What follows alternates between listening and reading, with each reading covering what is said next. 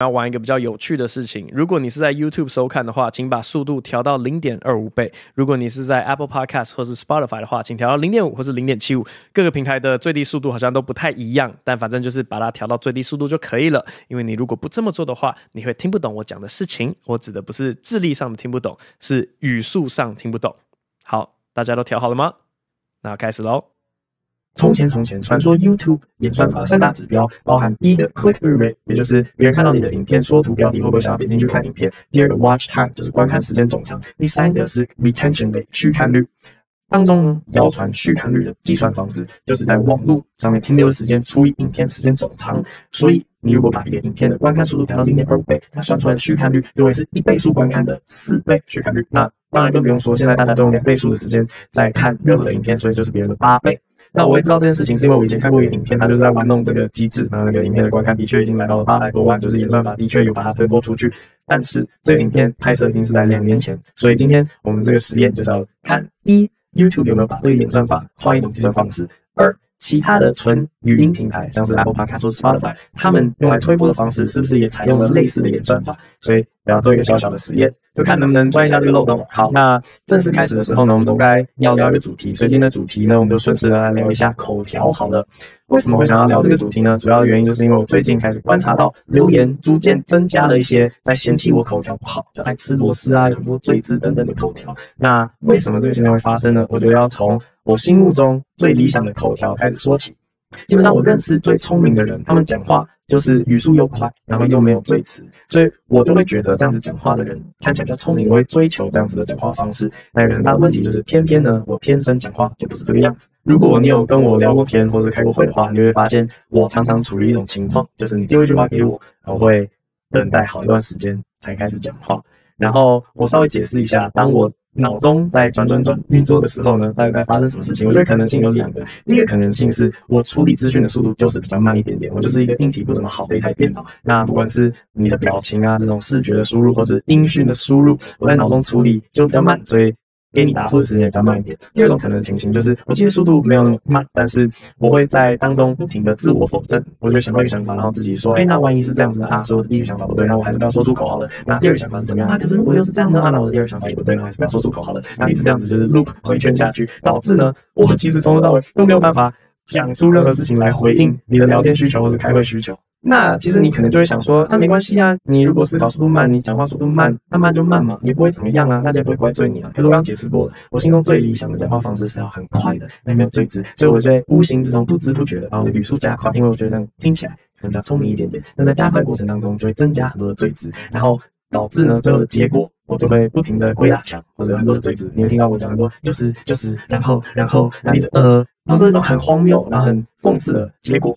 就是追求语速，反而让我看起来更笨。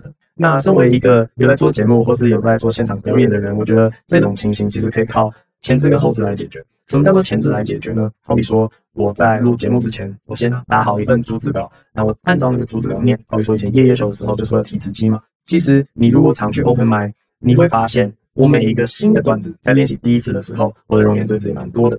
但是长期练习下来，我可以把这段表演练顺一点。那当然废话就会减少很多。那以上这些东西的前置作业呢？我觉得如果你硬体就是大脑的意思跟我不一样，倒是没有特别需要打逐字稿的需求，是因为我天资不足，所以我才需要做这种额外的努力。那第二种可以优化的情形就是靠后置来解决。我在猜想，最近这一波说我讲话很冗赘的留言，大概是从。这个 podcast 开始影像化之后开始的，那这个其实没有要怪罪任何人，我觉得是很自然的一件事情。如果它是一个纯语音的 podcast，你其实可以把连接点做的很碎，把那些就是惯用语全部都剪掉。但是如果今天要配上影像的话，它全部剪起来，一直跳一直跳，很不好看，就看起来很像那种 YouTuber 的影片嘛，就他们不是每一个逗点都会有个剪接点嘛，一直跳一直跳，这样子影片不太好看。但影像化之后，你就会发现这个 podcast 在听感上面有一点点的下降，至少我自己是这样子觉得啦。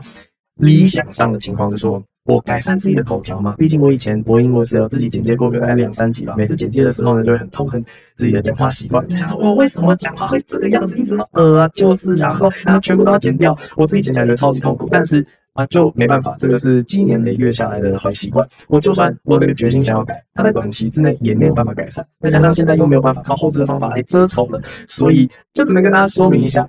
一样回过头来，你这时候可能又会想说。跟刚才一样，那你讲话你就慢一点嘛。难道你语速放慢之后，你还会有这么多的容颜赘字吗？不会嘛。你慢下来，你可以思考过一整句话该怎么讲，然后慢慢的讲出来嘛。所以就扣回今天的大主题，我就是要告诉大家说，其实语速也有差。这个差别并不只是说他听起来比较聪明而已，而是在演算法就有差别。如果今天 YouTube 没有改变它演算法的计算方式的话，这支影片没有意外，应该观看会比以往的影片稍微高一点点，我说不定会爆发，我也不知道。就是做一个实验，如果其他的平台 Apple Podcast、Spotify 他们的演算法也是类似机制的话，你就会发现说，哎，所以那些前几名的 Podcast，他们是不是因为语速的关系有点吃香呢？前几名的 Podcast 是不是讲话都是语速比较快一点点的 Podcast 呢？你会发现有些 Podcast 你没有办法用两倍速去听，因为他讲话自然的语速就是比较快一点点，你顶多只能用一点五倍速去听。好，那我们就算数学一下，这个一点五倍速跟两倍速，它在推波上面，这个就是百分之三十三的差别。这语速是有差的，语速会决定你的流量，或者不会，我也不知道。毕竟这集就是一个实验，那它的结果对我来讲是两周之后才会看到。那这集 Podcast 就录到这边，它应该是会账面上那个秒数最广的一集 Podcast。好，我们接下来进入 Q&A 部分。首先，第一个是一岁的听众，我不相信你一岁，不想把太多单被逼着打。学长好，听你的节目一年多，一直想要来留言很久了，主要想要请教两个问题：一，Overland 是我最喜欢的海味。喜剧演员海威是什么意思？颠覆了对脱口秀的想象，也很欣赏他可以将喜剧结合价值，又不会太多的说教意味。也想要听伯恩对 Bob Burnham 表演想法如何，是否有想过要有类似的表演形态，以及认为台湾目前哪一个喜剧演员适合或者潜力走那样的方式或表演形式。二，有一天听到伯恩突然想到，如果伯恩有某些看法或者价值观想要传达，但碍于某些原因因素无法以伯恩的身份传达，好像可以自己留言，伯恩再通过 podcast 的方式表达。哦，OK 好，一样到的回答回去。第二个问题。这我没有在 podcast 分享过吧？我早就有这样的想法，就是呢，我有些很想表达的事情，但我觉得不好笑，就是尝试过想要变好笑，但还是能表达，就很很难变成段子，我就直接把它拿来 podcast 讲掉。这个是从以前，就你也不用自己留言播音，我自己在主题里面就会把它讲掉。所以我记得播音的叙述好像是什么点子以上段子未满嘛，从以前到现在的定位好像都是这样子。我如果懒得发展的东西，我就会拿来这边当做乐色场六条。好，然后这个 Bob Burnham 有啊，Bob Burnham 这种表演形式，我以前可是完全没有尝试过呢。在这个二零二一年的双声道，就完全不是想要学 Bob Burnham 的表演方式。对，所以如果没没看到或是没有成功，也不是我的问题。好，那我稍微说一下，嗯我刚刚有一个想法，就是为什么他听起来不说教？至少前一阵子，我不知道最近怎么样，但是。他会去当导演去导其他人的喜剧专场的，就包含我自己很喜欢的 Drew Michael 或者像 Gary Carmichael 跟 b o b r a n 这几个人。那他们的表演方式，我觉得都很内型。就是说，他提出任何的大议题，他会用一种疑问的方式，他会问观众说：为什么我们总是这样呢？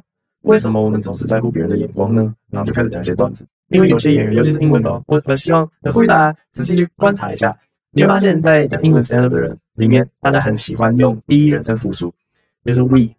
超爱用 we 的样子，就是说，因为我们就是超在乎他人的眼光啊。他不是说我，他不是说我超在乎别人的眼光，他也不是说你超在乎别人的眼光。说我不知道为什么这个社会大部分的人都很在乎别人的眼光，他也不是说什么台湾人就是超在乎别人的眼光。你会发现这些在中文的世界里面好像比较常出现，大家有印象吗？每次。都有人会讲说，哦，我发现台湾人超爱怎样怎样，然后讲话的人本身自己就是个台湾人，好像你没有在批评自己一样，莫名其妙。你就是你要么自嘲，你要么就是，哦，你要么就讲我们嘛，到底为什么你自己是个台湾人，然后你要出来说，哎，台湾人真的是超爱玩谐音笑话。Hello，OK，好，没关系，这都无伤大雅。但我只想强调，我看到很多那个，嗯，可能会被认为比较说教型的人，他们就说我们就是太太在乎别人的眼光，我们就是喜欢追高杀低，我们就是怎么样怎么样，超级喜欢用这个代名词。但是 over 内挂比较不会。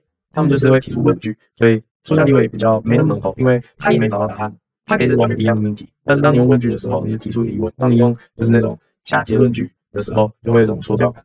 你指的类似的表演形态，应该指的就是跟音乐有关这样子，那中间穿场的时候又不会太无聊。我的猜想应该是这样子。有啊，我不是以晨吗？我的想法这样，是目前台湾最接近某个人，我会觉得是以晨啊。下一位，Albee，杂耍真的帅到 OK，前情提要。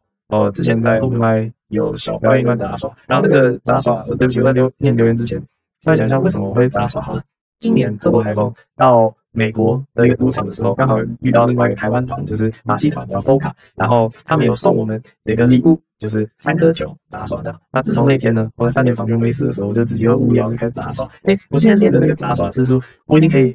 丢六次，就是三颗球，这样一二三四五六，这样。但我不知道为什么都没有办法跨过六次的坎，就是我继续往七的时候，心里就会乱。但 anyway，现在就是小小的会丢六下那个球的，然后有一次 open m 的时候，就想要把这个表演想办法套一个概念融进罐子里面，所以就试，所以在 open m 里面有稍微杂耍一下下，所以感谢你。但有摔吗？我也不知道，我目前是觉得还是蛮丑的。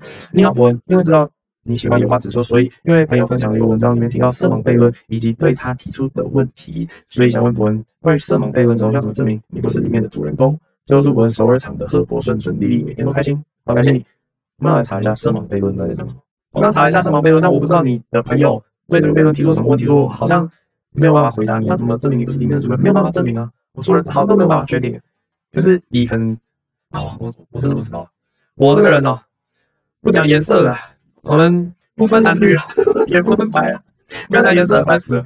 下一位，我不知道，我不知道。你下次你再投稿一次，你把你朋友提出来的那个反驳点跟我讲，我可能会知道知道要怎么回答。下一位，半夜发现博恩居然因为外貌争议演上个小情，该回答。好，唉，这个我一看到就不太想回应啊。这啊，我们干什么。他说伯恩一直有在听博恩一直有关注你，但我觉得这是演上原因太好笑，特地跑来留言，怎么会连这么普通的东西都可以被演上挂号，甚至感觉更容易演上公开性的话，没被演上。一演上其实辛苦的，想顺便问你觉得你是偏向理性主义还是？现实主义看到很多人都以没有度量衡根本不可能做到为理由反驳你，但每次都觉得这种观点好像可以反驳任何尝试进步的可能，从而阻止事情往各种方向就是，因此我都不太能认同这种说法。祝写笑话顺利，小孩顺利，上面我顺利挂号。P.S. 想跳完小孩故事，OK。这个我知道你在讲什么，然后你大概就在 Friends 上面看到。我可以讲两件事情，第一件事情是除了 Friends 上面在讨论之外，其他的地方根本就没有在讨论这件事情，所以跟 Friends 上面的人的属性有关。第二件事情是，就那个礼拜也有另外一个演员跑来找我说，哎，你知道你在那个 Friends 上面你在讲外貌这个东西，开始有些人骂了吗？然后我就问他一个问题，说骂我的人里面有任何的论点是能打的吗？然后那个演员说，啊，好像想不到。然后就说那就不叫演上，就是对我来讲，被笨蛋骂不算被演上，被有常理然后是理性的人骂。才叫演唱，就是那那种小事情，根本就不算演唱。理想主义还是现实主义？我一直以为是现实主义，可是最近的诸多事情会让我觉得我好像比较是理想主义，就是就不顾现实考量，就说这个应该办得到啊，没有人会偷懒啊，没有人会怎么样啊，但可能现实就是极高几率办不到这样。所以回到这个外貌的东西，都没有度量衡，根本不可能做到。唉，哇，这真的是低能到连回应都不太想回应。但总之就是说，我我想请问，我在 podcast 里面有逼别人不能称赞别人的外表吗？我好像只有说我自己不会去称赞别人的外表而已吧，我有强加在别人身上吗？那这个这个是第一个点。然后，如果每个人都管好自己，他说哦好，那我我认同这个理念，我也不去称赞别人。我说我不认同这个理念，我就是要称赞别人的外表。就点点滴滴累积下来，如果同意我的人比较多，那的确就可以改善这个事情啊。但是我在提出来之前，大家没有想过这件事情啊。我甚至是那那个时候的诸多贴文里面，有些人会泰过嘛，所以我我是会看到的。我都不在对上面讲话了，但我实在是很想回说，当同意你的人比同意我的人多，我再花时间来陪伴你。我不觉得在在对上面骂我那些人，就你看他的爱心数跟就是下面骂回骂他的人，你就知道大家其实比较认同哪一边呢？啊，所以就算了，这真的是没有什么好回应的。